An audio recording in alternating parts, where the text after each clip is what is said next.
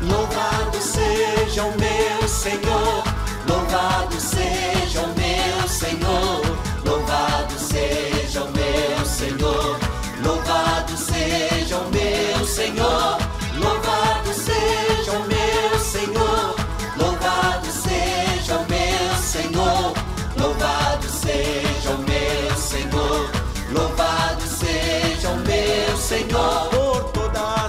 as criaturas, pelo sol e pela lua, pelas estrelas do firmamento, pela água e pelo fogo. Louvado seja o meu Senhor, louvado seja o meu Senhor, louvado seja o meu Senhor.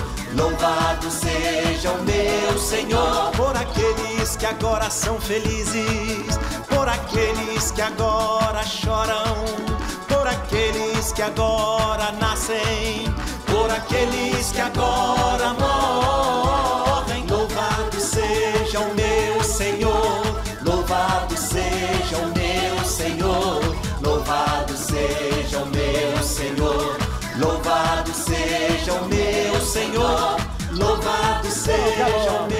Acabou.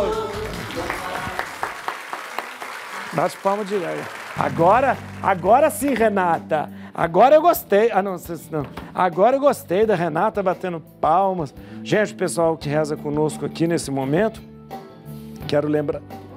Onde está a gente?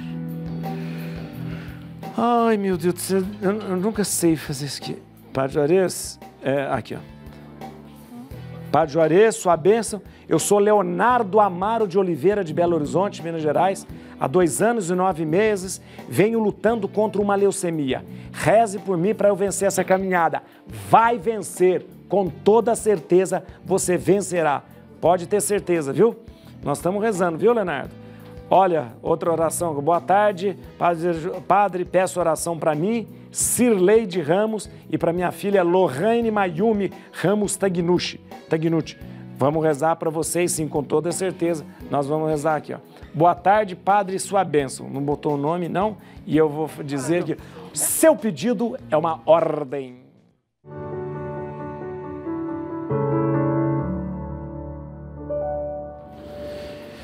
Olha aqui, seu pedido é uma ordem, no momento de você mandar seus, suas dúvidas para a gente. Vamos ver. Ó, seu pedido é uma...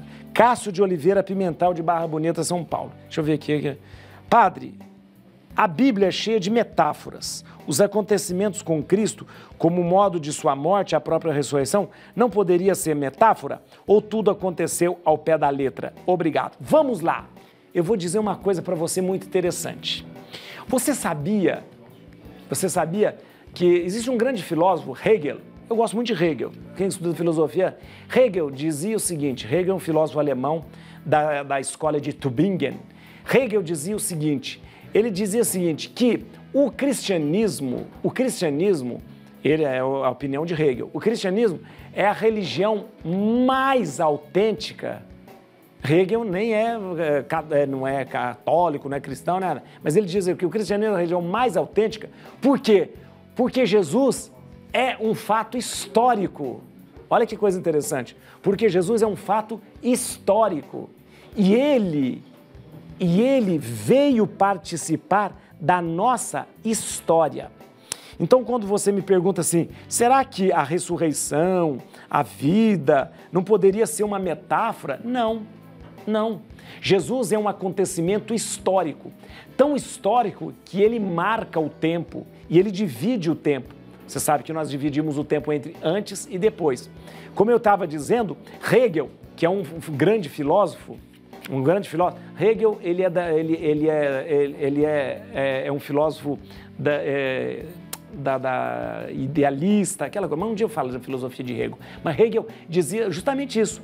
Jesus é um fato histórico, uma intervenção na história. Isso dá autenticidade ao cristianismo. E olha que interessante, não há como você pensar que seja uma metáfora, uma coisa, porque são comprovados os fatos através de historiadores. O grande historiador Flávio Josefo, que era um historiador judeu, historiador judeu, Flávio Josefo, ele nos relata justamente toda a história em torno de Jesus, esse revolucionário, aquela coisa toda, e relata justamente sobre a, a, a, o que eles chamavam de seita que nascia ligada a esse, Jesus, a esse certo Jesus. Então é um fato histórico. Outra coisa que é importante você saber, que não é simplesmente uma, uma metáfora, uma coisa, é a seguinte: mas espera aí, a ressurreição pode, não poderia ser uma história inventada pelas pessoas?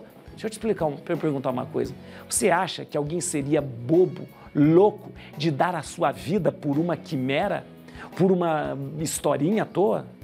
Os apóstolos se entregaram e entregaram a sua vida por causa de Jesus que estava vivo e ressuscitado. Você acha que alguém seria tão babaca, tão bobo, a ponto de falar: ah, eu vou lá me entregar às feras, me entregar para ser morto agora pelos romanos por uma história inventada? Não, meu filho, não. Eles experimentaram Jesus vivo, experimentaram Jesus ressuscitado, de tal forma que eles tiveram coragem de enfrentar os romanos, de enfrentar o Império Romano, de enfrentar todas as, as adversidades e dizer: Eu estou aqui, sou capaz de morrer por Jesus. Então, primeiro, em torno de Jesus nós temos um fato histórico, comprovado pela história e comprovado pela tradição. Segundo, a ressurreição não é uma quimera. A ressurreição é, é sim, a partir da experiência que os apóstolos tiveram, uma realidade, uma verdade. Gente, olha aqui, a gente vai terminando o nosso momento. Eu queria agora apresentar todos os pedidos que chegaram para nós aqui, os pedidos que você enviou aí para o pedido que você enviou para que a gente pudesse apresentar a Sagrada Família. Eu sei que você enviou com toda a fé e sei que o Senhor vai lhe atender nesse tempo certo e propício. Senhor nosso Deus, aceita os nossos pedidos, acolha as nossas súplicas, atenda-nos, Senhor, segundo o teu coração. Abençoa esta água que nós preparamos, colocando bem perto e próximo da televisão, para que por através desta água, Senhor, criatura tua, possamos, Senhor, receber as graças, as virtudes, as forças, tudo aquilo que nós necessitamos para ser melhor e ficar melhor. Abençoa, Deus Todo-Poderoso, Pai, Filho e Espírito Santo. Amém. Amir, deixa o coisa bem aqui. Fala, meu bom irmão. Ó, Tudo bom? Eu tô aqui com um terço lindo em mãos, vai ser Bonito. presente para alguém Olha... que vai pegar o telefone e vai ligar agora. agora. Já tô olhando até ali, ó, no nosso né? retorno ali. Já apareceu ou não apareceu? Aí, Acho que ainda não apareceu o apareceu número. Lá, apareceu lá, o número. Opa, lá, maravilha. Lá. Então vamos lá, vai, vai. 42008080. Eu queria que você abençoasse. Pai Todo-Poderoso, abençoe esse terço e abençoe a pessoa que vai fazer uso dele, rezando e desfiando, contemplando os mistérios da nossa redenção. Abençoa, Pai todo de misericórdia, pela intercessão de São Bento e Nossa Senhora, em nome do Pai, do Filho e do Espírito Santo. Amém. Amém. Deus abençoe. Obrigado, amigo amado. Deus, viu? Tchau.